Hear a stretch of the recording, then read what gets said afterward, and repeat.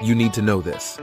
The Bornean orangutan population is threatened with extinction due to habitat loss and poaching.